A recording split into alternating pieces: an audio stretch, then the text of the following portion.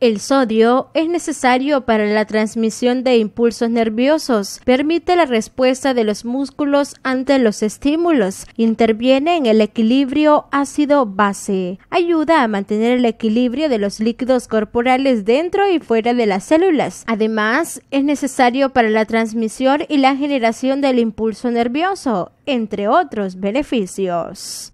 Muy importante este, en el organismo porque regula bastante este, sobre los equilibrios de los líquidos corporales de nuestro cuerpo. Ayuda también a que tengamos este, buena conectividad nerviosa y es bastante importante tenerlo en cuenta de que hay que tenerlo este, una dieta diaria, pero este, en pequeñas cantidades mientras que el consumo excesivo de sodio o sales como lo conocemos puede causar daños al organismo, incluso se relaciona con un incremento del riesgo de hipertensión arterial y otras enfermedades. Bueno, en nuestra área este, sabemos que los niveles de sodio en el cuerpo humano van de 135 a 148 milimoles sobre litro este, teniendo esos niveles en nuestra sangre, pues el cuerpo funciona bien. Ajá. Eh, ¿Cuáles son los beneficios que tiene el consumir la sal en, el nivel correspondiente? Bueno, este, teniendo los niveles este, normales de sodio, pues vamos a tener este, una buena funcionalidad en nuestro cuerpo a través de, este, por ejemplo, en todos los líquidos corporales. Vamos a tener un pH adecuado en nuestro cuerpo. El nivel de sales que el cuerpo de una persona posee es diagnosticado a través de los exámenes clínicos que los especialistas realizan y posteriormente son proporcionados a los médicos para realizar diagnósticos completos y tratar el sodio para prevenir las complicaciones.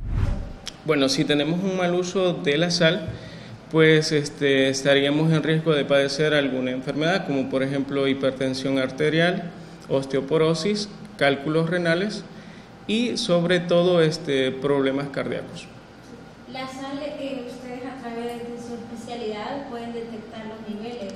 Sí, este, nosotros este, realizamos un perfil electrolítico y a través de un examen de electrolíticos que son las, este, las sales minerales de nuestro cuerpo, podemos detectar los niveles del sodio, tanto del potasio y el cloro. Por ejemplo, este, un paciente que tenga, digamos, este, una patología de insuficiencia renal, tienden este, a, a reducir los niveles del sodio. A través de los electrolitos nosotros podemos diagnosticar o ver los valores este, en sí del sodio como los anda el paciente. Y a través de los exámenes, de los resultados, el doctor asimismo puede valorar si es necesario este, eh, ponerle sodio, un medicamento endovenoso o poderlo este, estabilizar. El sodio desempeña un papel en el equilibrio de los fluidos del cuerpo, el funcionamiento de los nervios y los músculos. Esto se regula en el riñón, pues es un conjunto de hormonas que se activa si disminuye la tensión arterial. Su activación produce la liberación de aldoesterona, que abre unos canales de sodio localizados en el riñón. Con imágenes de Herbert Claros para Sol TV Noticias informó Yasmin Ramos.